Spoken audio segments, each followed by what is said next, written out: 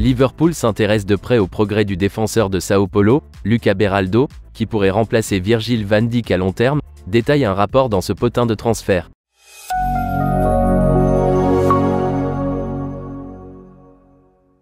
Virgil van Dijk est devenu le capitaine de Liverpool cette saison après la vente de Jordan Henderson à Al Ettifaq et le départ de James Milner à Brighton. Toutefois, à 32 ans, certains estiment que les meilleurs jours du néerlandais sont déjà derrière lui. Même la saison dernière, si Virgil van Dijk a continué à évoluer à un haut niveau, il n'a pas exprimé le même facteur de peur que celui qu'il avait vu dominer au plus fort du succès de Liverpool sous l'ère Jürgen Klopp. Par conséquent, le temps viendra où Liverpool devra faire évoluer sa défense vers une nouvelle ère, tout comme il l'a fait pour son milieu de terrain cet été avec les départs de Jordan Henderson, James Milner, Fabinho et d'autres. Selon 90 minutes, L'une des cibles identifiées pour le long terme est Luca Beraldo, qui a percé dans l'équipe première de Sao Paulo et a fait 42 apparitions jusqu'à présent, y compris des titularisations dans les deux matchs de la finale de la Copa do Brasil le mois dernier, que son équipe a remporté contre Flamengo, bien qu'il ne soit âgé que de 19 ans.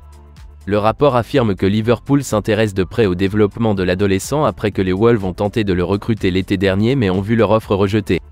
En tant que défenseur central gaucher, Luca Beraldo pourrait ajouter une nouvelle dimension à la défense dont dispose Jürgen Klopp, puisque Virgil van Dijk, Joel Matip, Ibrahima Konaté et Joe Gomez sont tous droitiers. Parmi ces options, Joel Matip est un autre joueur dont Liverpool pourrait chercher à se séparer dans les mois à venir. Non seulement il a le même âge que Virgil van Dijk, mais il est en fin de contrat à la fin de la saison en cours. Luca Beraldo pourrait donc être une option pour l'avenir de la défense de Liverpool. Cependant, le même rapport révélant l'intérêt de Liverpool a averti que Sao Paulo veut renouveler son contrat. En l'état actuel des choses, l'espoir brésilien est sous contrat jusqu'en 2026.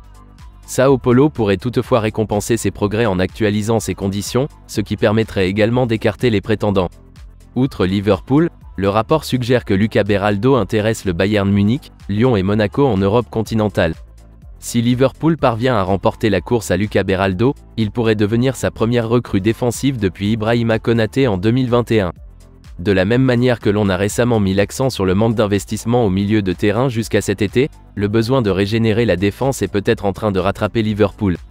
Et si Luca Beraldo a le potentiel d'attirer des clubs comme le Bayern Munich, Lyon et Monaco, les Reds pourraient avoir intérêt à faire une offre rapidement avant leurs rivaux.